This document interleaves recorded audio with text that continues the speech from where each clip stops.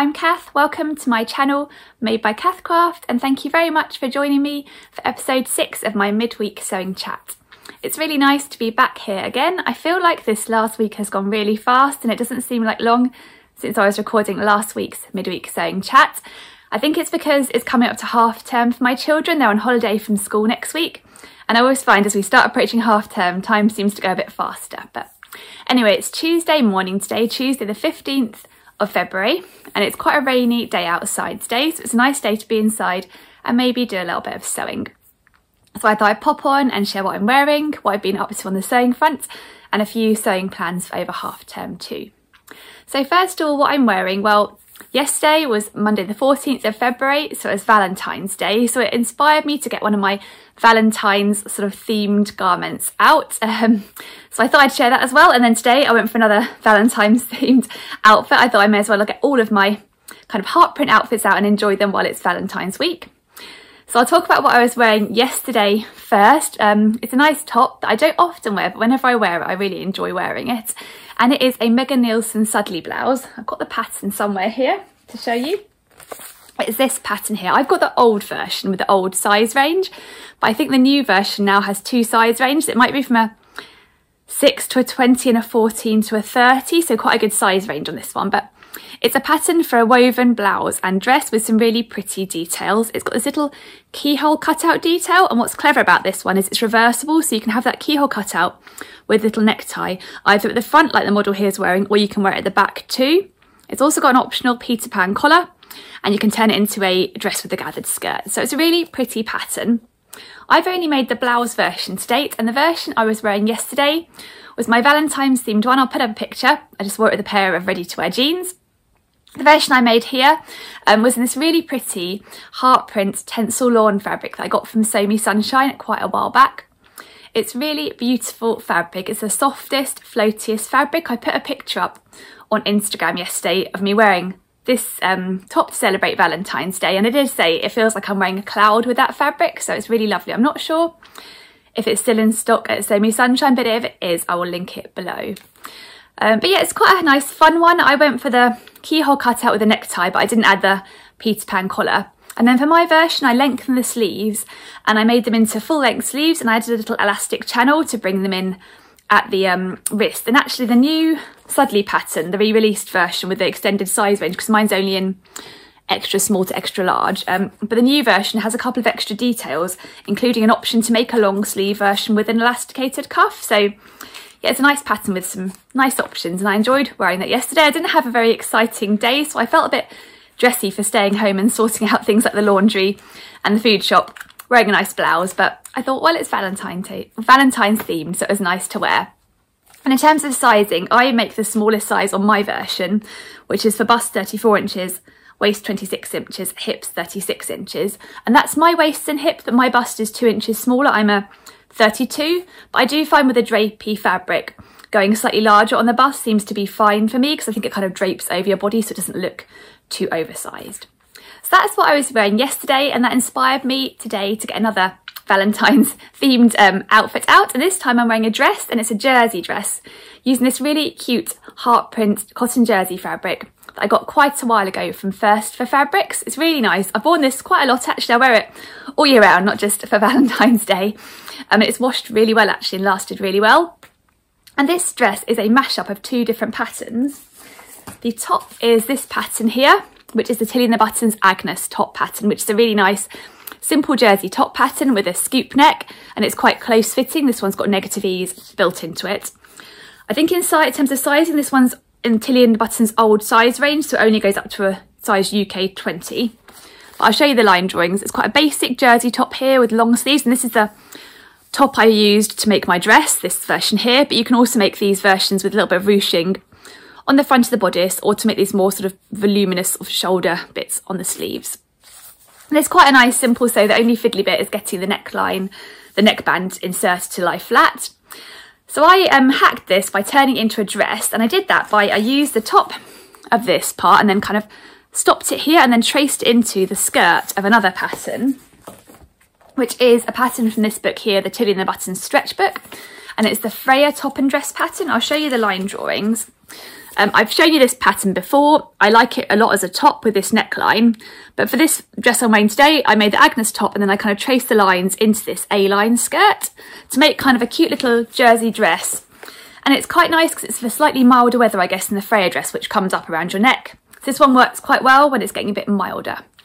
Um, and then over the top, I've got a handmade cardigan, which is quite a new one. And I talked about this in my January makes video, and I'll put a link up to that if you haven't seen it already. Um, it was a hack of the downtown cardigan by All About Amy, but I won't talk about it too much because I talk about it in quite a lot of detail in my makes video.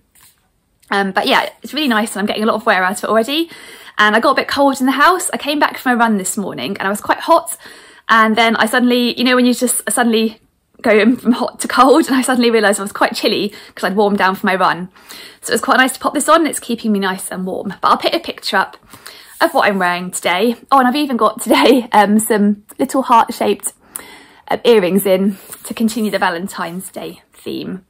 I know it isn't actually Valentine's Day today and it was yesterday, but I thought I may as well carry on wearing my heart print garments.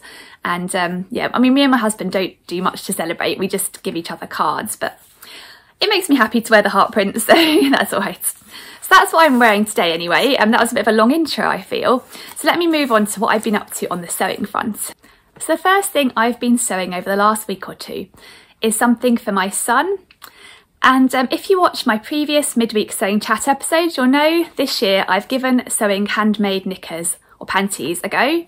So first of all, I sewed some for me using the um, Tilly and the Buttons Iris knickers pattern, which is really comfy. I've really enjoyed sewing them. And then I went on to sew some for my daughter, and for her I used a free pattern, which is the Mini Acacia Pants pattern by Megan Nielsen. And then I said to my son, would he be interested in me making some for him too? And he really liked the idea and he had a particular fabric that he fancied having some pants made out of. So you'll know I made a toile um, for him if you've seen my previous videos. And when he tried it on, he wasn't quite sure on the fit and he decided he preferred his ready to wear pants instead, which is fine. So we thought maybe we could find another use for this fabric. So it's a leftover piece of fabric from a t-shirt I made him a year or two ago. And it's really cool. It's this cotton jersey fabric and it's from Minerva and it's got a Where's Wally print on. So it's got all these giants on it and then lots of detail and you can find some of the Where's Wally characters. It's a really fun fabric. And we figured out that I had probably just enough left of it to squeeze out a pair of pyjama shorts for him and he really liked that idea. So we decided we'd use it for the pyjama shorts instead of for pants. So I've gone ahead and made him a pyjama, pair of pyjama shorts, excuse me, in this fabric. And to do that, I used a pattern I'd used a while ago for my daughter, which is a free pattern, and it is the Walk the Plank Pyjama Bottoms pattern by Patterns for Pirates. It's a pattern that's available for free for both adults and children, and uh, I'll link the pattern down below, the kids version. It's designed to be made in woven fabrics, but I made it before for my daughter in a cotton jersey and it worked out just fine. And it's quite a basic pyjama bottoms pattern. You can make it either sort of a sort of short, a short shorts length, a knee length, or a, a full sort of length. And it's got an elasticated waist that goes in quite nicely. So I whipped those up for him. So it's quite interesting in terms of sizing. Actually, I kind of measured him up and then his, his measurements seem to show him as an age six, but he's actually eight. So I thought I'd go with the age eight and just see how they came out. But actually, when I looked at the amount of fabric I had left, it was going to be a real squeeze to fit the pattern pieces onto the fabric. So what, how the pattern pieces come with this pattern, I think I've got it here somewhere is you there's one piece for each leg. So you don't have a side seam on the outer seam, there's just one wraparound piece and you sew each piece and then you sew them together. So it's quite a simple pattern with just two, well, one pattern piece um, and then you cut two of them, one for each leg and then you sort of turn over the top with the elastic in. But there wasn't enough space to cut those full um, whole leg size pieces on the fabric. So I had to cut the pattern pieces in half and I ended up having to shrink them a little bit um, just because of the amount of fabric was left and I had to shorten them a bit from the knee length version too. So I was thinking, oh, are they going to end up a bit small? But that was all the fabric I had to play with. So I thought, well, I'll give it a go. And actually they came out just fine. And I found they came out with quite a lot of room in them. And I found that actually there's quite a lot of excess fabric in the size 8 for him. So yeah, I, I, think actually sizing down would have been fine. But anyway, here are the pair as they came out, and they're really nice actually. I'm really happy with how they turned out, and he's really pleased with them. And then I added a little label at the back, um, just using some soft ribbon I had left over from something something else. I just sort of zigzagged that on the back, just um, so he knows which way around they go. But yeah, they're really nice, I think, and really jolly. And I ended up shortening them a little bit because the knee length version looked like it was going to come up below the knee on him. So definitely they're on the generous size, this pattern I found. And he was so pleased with them that he asked me whether Minerva still sold any other Where's Wally um, fabrics and any other different prints because he quite fancied maybe another pyjama set with a top and bottom. And we had a look on the Minerva website and they do still sell a few other different prints. And the one he chose, this really cool print, I think. It is a space print. So we ordered this and it came really quickly. Um, and it's really fun, I think. It's got lots of rockets and aliens. And again, Where's Wally characters to spot, lots to look at on this fabric. And we ordered enough to make him a t-shirt and pyjama bottom set. So this time I was able to make the pyjama bottoms um, without having to kind of manipulate the pattern piece and cut them in half to make sure they fast fit in the fabric. So I had plenty of fabric, which is nice. And this time I sized down. I think I went for a size six, an age six, and actually that's come out just fine. So if you're using the Walk the Plank pyjamas um, pattern, I definitely recommend going with the measurements and not with the age, um, which I guess probably one should anyway, but it's just good to know that actually it does come up on the large size. So here is his second pair. This one hasn't got the seam down the side, it's just wrap around. And again, I added a little label at the back so he knows which way around they go. So he's been wearing these, um, well, he's been wearing them ever since I made them. I actually finished sewing them when he was at Cubs last week and I, I, don't the only thing I hadn't done was check the length on him and he got home from Cubs and I checked the length and he was like yep sew them now mummy I want to wear them tonight so that was quite nice I kind of had to get them done really quickly for him just then so he could wear them that evening which is always I think a success so that is the pyjama bottoms and then here's the little t-shirt I made. This t-shirt I made using another free pattern and it is the ABB Kids Tee, which I think stands for anything but basic kids tee. Another free pattern, this one's by DIBY Club, which I think stands for Do It Better Yourself Club. They're obviously a fan of the acronym. Is that the right word? I think so. but I'll link that pattern down below as well. It's a really nice, simple t-shirt pattern. Um, it comes in a, a sort of a regular width and also a narrow width, um, a slim fit I think they call it. And I find this one, funnily enough, uh, whereas the weight, whereas the um, whereas the walk the plank pajama bottoms come up really large, I find the ABB tee comes up on the small size. So for my son on this one, I cut a size 10, um, an age 10. And so it seems crazy that he's got a age 6 pyjama bottoms and an age 10 pyjama top, but I guess different pattern brands have different sizing. And this is a nice fit on him. It's not too big and it's not too small. It's, yeah, just right. um, so yeah, it comes together really nicely, this t-shirt, and I added this little optional patch pocket you can add. I add a little patch pocket with a little alien um, alien sitting on it. I thought it was quite cute, so he's quite pleased with the pocket. And again, I added a little label on the back, just using this nice soft ribbon, just to make it easy for him to tell which way around to wear it. So he's got a nice little matching pyjama set. I did twin um, needle stitching on all the um, cuffs and bottoms and things. And um, yeah, it was really nice to be able to whip something up for him in fabric that he really loves. And it's really nice soft cotton jersey. So I'll link it down below. There's also a navy blue colourway of this too. But I do think the black space print's quite cool.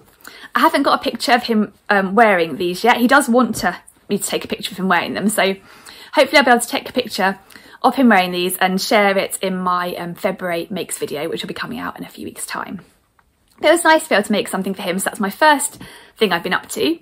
I also forgot to mention in my sewing chat last week, I mentioned a couple of weeks ago I was making a face mask for my sister because I'd made some for her before and I wasn't sure if she liked them or not and then she mentioned that she did really like them so I made one more and I've given that to her and she was really pleased with it and she did send me a picture of her wearing it but I'm not sure if she'd be too keen on me putting that picture up so I'll just show you a um, picture of it um, on a flat lay just so you can see how it turned out. I used this really pretty um, Liberty Floral Tana Lawn fabric. So I think it's a really pretty mask. And the pattern I use for this mask is the um, 3D face mask pattern and I used a tutorial that's on Instagram. It's a video tutorial by Stitch Odyssey and I'll link that down below. It's a really great um, video, really easy to follow how to make that mask and she quite likes that style. So that's another little mini um, selfless sewing project I did. So as well as sewing for my son and my sister, I've also been doing a little bit of sewing for myself and I've been working on um, this pattern here, the Plateau Joggers pattern by Closet Core Patterns. And I've got this pattern and also the other pattern that kind of, they go in a collection together. It's called the Montreal collection, which is the Mile End sweatshirt. And I made a Mile End sweatshirt a few weeks ago in a really lovely lilac fleece back sweatshirting fabric that I got from uh, Minerva. And I talk all about that sweatshirt again in my January makes video, if you fancy seeing that and I've worn it loads and really enjoyed wearing and the fabric is so cosy. And I had a decent amount of fabric left over from that and then Minerva had one of their 20% um, off days so I thought I'd order just a bit more fabric, the amount I needed to make a matching pair of joggers to go with that sweatshirt. and I'm midway through sewing these joggers, well actually maybe more than midway through. I pretty much just got the um, ankle cuffs to attach and to figure out how, how, long I want them. But I'll show you a little sneak peek of how they've been going and it's been a really fun pattern to put together actually. So here they are. So I've made them using this lovely lilac fabric and I've got ribbing um, for the top band. I'm going to use ribbing for the ankle cuffs too, just to make, because it's quite bulky fabric. I thought the actual fabric on the waistband might be a bit too bulky once it's gathered in by the elastic. But it's a really pretty fabric and it's been a lovely pattern to follow. I find Closet Core's instructions really great. There's so much detail. For example, um, at the bottom of the pocket, they recommend you sew a little bar tack to um, secure it. And they say in the pattern, if your machine struggles with sewing bar tacks, there's a couple of other options and these are what you can do. And I found that really useful actually because my machine, it's one of the only things it does struggle with. It really doesn't like sewing bar tacks, particularly on bulky fabric. So it was really nice to find another option. So I've got a quite a neat option, I think, with a bit of top stitching to hold it in place there. But there are lots of lovely little details. You can do some twin needle stitching on the pockets. And the pockets are really interestingly constructed. So you've got a side seam here and it stops here and this sort of back, um, the back bit of the pattern sort of hugs around. So you don't have a little side seam here, which I think is quite clever. And it was quite fun to construct and game together really well. This is my pair in progress and I'm really enjoying sewing it and um, hopefully I'm planning to finish that this week so they'll be ready to wear while the weather's still quite cold. But yeah, it's been a nice pattern to sew and I'm quite happy with the sizing. I went based on my hips measurement for this pattern, which is what the pattern advises. And it's come out nicely and the legs are definitely a bit more roomy than they are on my other favourite joggers pattern, which is the Hudson Pants pattern. And that works really well for fabrics like this fabric which hasn't got too much stretch in. I think having a slightly roomier leg is great for a fleecy backed fabric. So yeah, I'm really enjoying sewing these. I'm looking forward to finishing them and having my matching loungewear set. And once I have finished those joggers and I know how long I want them to be, um, I'll make sure I share in my February Makes vlog the sizing adjustments I made and how I found they went and what, you know how much I needed to add to the length and that sort of thing. So I think that's always handy to know what adjustments of people have made to patterns to make them work for them. So I'll be sharing that all once those are finished. And then my next thing I would like to get sewn while the weather is still quite chilly outside is one more Mile End sweatshirt. Because I've been wearing my lilac one a lot, I really love it, so I thought I'd make one more and enjoy it while the other weather's still chilly. So I'm planning to make the same version as I made for my lilac version, which is this one at the top here, view A. So it's quite a nice um, basic, um, slightly oversized sweatshirt with these dropped shoulders. It's got a sort of round neck, it's got these lovely arm darts, um, which are really cool feature, I think and it's got these cool sort of diagonal slanted seams to the front. Um, yeah, so really nice details on it. It's got back yoke too. And I really enjoyed sewing my first one, so I'm really looking forward to sewing another one of those. And I got some fabric along with the extra fabric I needed for my plateau joggers. I got some more fabric when Minerva had their 20% off day. I got another colourway of the Mind the Maker fleece back sweatshirting, which is so cosy, which I really love. And you might have seen this already if you've seen one of my previous vlogs where I shared this. I can't remember which one it was, but it's this beautiful um, sage green coloured fleece back sweatshirting fabric and I've got the matching ribbing too. And yeah, I'm enjoying my pastels for sweatshirts at the moment. So I'm really looking forward to getting that sewn up and I'm hopefully going to start cutting that one out this week. And I'm planning to make the same adjustments as I made for my first version, which is I'm going to lengthen the arms by one inch um, and I'm also going to lengthen the bodice by three inches which seemed like quite a lot to me when I made the pattern adjustments for my first version. But when I held up the pattern pieces, it looked like the sweatshirt was going to come up really on the cropped side and I didn't want it really cropped. So I thought I'd add in the three inches and then I'd sew it all up and then if it was a bit too long, I could always crop it a little bit at that stage before adding the bottom band. But I actually found I needed the full three inches, which seems like a lot. I often do lengthen bodices because I do have quite a long body, but not often by that much. So I thought in a moment I would get out my pattern pieces for the Mile End sweatshirt and I'd show you how I made that adjustment to lengthen the bodice because of the slanted seams it's not as easy as just adding in a chunk with straight seams and a couple of people had asked me how I did it and if it was tricky so I thought I'd just show you my pattern pieces to show how I made those seams um, stay at a good angle with adding in that extra length. So I'll go and set up my sewing table in a bit and show you that in case you find that useful but I'm really looking forward to sewing this pattern again because it's a really fun one to sew. There are a few extra pattern pieces in for your average, average sweatshirt, which makes it a bit fun um, and a bit different. So yeah, I'm looking forward to that. So I'm hoping this week that I'll finish my plateau joggers and make a start on my Mile End sweatshirt in the sage green colourway of the fleece back sweatshirt fabric. And then next week is half term and my children are going to be off school, so I don't generally get quite as much sewing done when they're off school.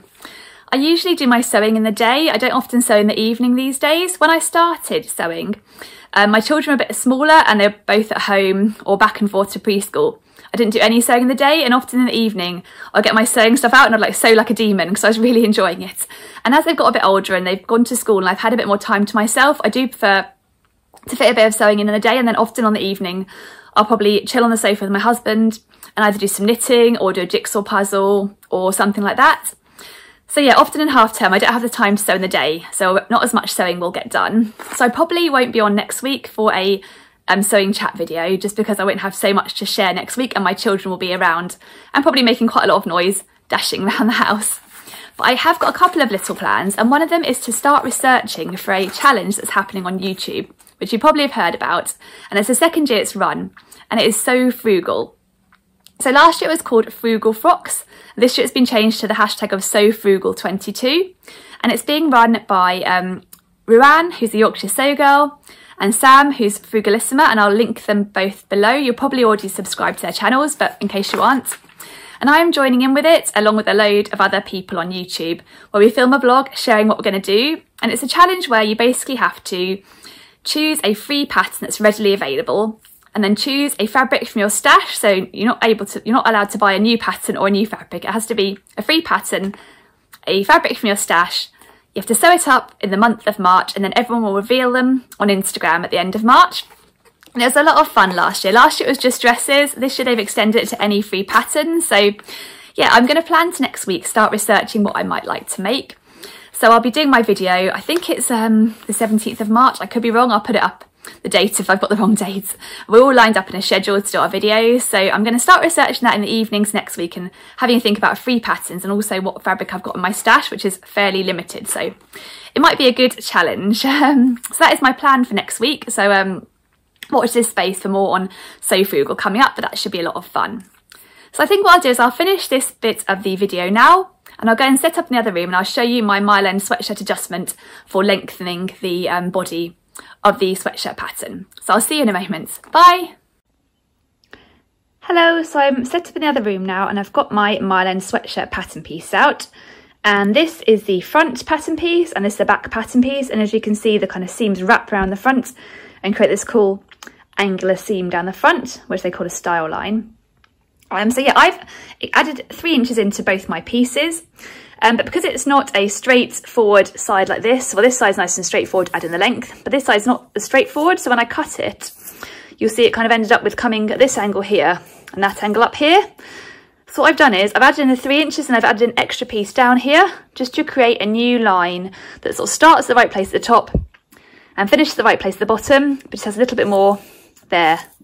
Um, and for this piece, I had to do the opposite because I had it too much going in at the top here. So I've added in a bit more along here just to give it a nice clean line that starts in the right place at the top and ends in the right place at the bottom and creates this really nice style line. So hopefully that is helpful to see. Hello again. I hope you found it useful to see those adjustments I made to the Mile sweatshirt pattern to the front and back pieces to um, lengthen them by the three inches. I'm really glad I did lengthen them by those full three inches. It did seem like a lot when I was lengthening them, but actually it's brought it down to a really nice, comfortable level for me to wear that makes it really cozy. And yeah, I'm really glad I did lengthen them by that amount. And if you want to hear more about me talking about the sizing I used on that End sweatshirt or how I found the pattern generally and see some pictures of that one and me wearing it, that is all in my January makes video. So you might have already seen it, um, but I'll link it down below in the description in case you haven't. So yeah, that's my End sweatshirt and I'm really looking forward to cutting out my second one, the sage green colourway and getting that one sewn up. But today, in terms of my sewing plans, I think I'm going to finish off my plateau joggers. In a moment, I'm going to get my sewing machine out. I'm going to try them on again and check the length because I lengthened the pattern pieces by quite a lot just to be on the safe side. So I'm going to see if I need to take any off and then add on the ankle cuffs and then they'll be all finished. And I'm really looking forward to having them to wear. I think they're going to be really snuggly and cosy and perfect for um, evenings in at this time of year. So yeah, I'm hopefully going to finish those today. So I thought before I go, I'd share with you about what videos I've got coming up. So I'm planning on releasing a video this Saturday morning as usual. And this Saturday, I decided to do a different type of video. I thought I'd talk about a particular pattern company and the makes I'd made and also a few other bits. So I've chosen to talk about Sew Over It London. So I'm going to be sharing all the patterns I've sewed by Sew Over It London and sharing my makes. I'm going to also talk about a couple of patterns I've got in my pattern stash by Sew Over It London that I haven't sewn and talking about why I haven't sewn them to date. And I'm also going to share a couple of patterns I'd like to sew by Sew Over London but I don't yet have in my stash. So hopefully it should be an interesting vlog and I'd love it if you would join me for that one. I'll be releasing on Saturday morning as usual. And then next week, like I mentioned, I probably won't be popping on for a midweek sewing chat because my children are on half term. So I think my next midweek sewing chat will be in two weeks time, which I think will be Wednesday, the 2nd of March, if I'm correct. Um, which seems crazy that we're going to be into March so soon. I do feel like this year's whizzing by. I don't know whether you feel the same. But yeah, that'll be my next sewing chat video. So thank you so much for joining me today for this sewing chat. As ever, it's been lovely to pop on and chat to you guys. If you've enjoyed the video, I would love it if you would give it a thumbs up as ever. And if you're new to my channel, then thank you so much for watching. I would love it if you would consider subscribing um, to hear more about my sewing chat, sewing plans, makes, all of that sort of thing. And if you press the bell um, icon too, that means you'll be notified when my future videos do come out. So thank you again to everyone for watching. I really appreciate it. And I will hopefully see you again soon. Have a great day. Bye.